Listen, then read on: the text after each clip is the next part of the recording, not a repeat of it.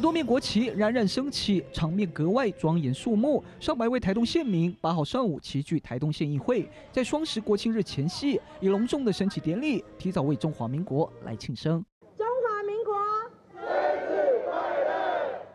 民众兴高采烈挥舞旗帜，一同高唱中华民国国歌。这是由台东县议会举办的双十节挂国旗活动，除了安排升旗典礼，也免费赠送国旗。除了吸引不少爱国人士到场，甚至还有来台二十多年的新住民姐妹共享盛举。来到这边参加第一次哦，二十四年当中参加这次这一次那个松石的活动，感到很荣幸，很光荣。呃，我觉得共享盛举，而且。挂国旗，这样家家户户很少在做这个活动嘛，我觉得不错啊，象征性。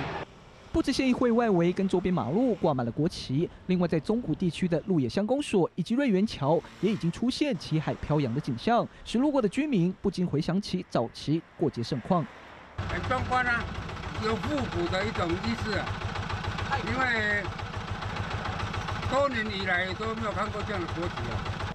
近百面国旗高挂桥上，在艳阳下更显缤纷。尽管国庆日还没到，但台东已弥漫浓浓的双十气氛。原视新闻，这不是台东市台东路也采访报道。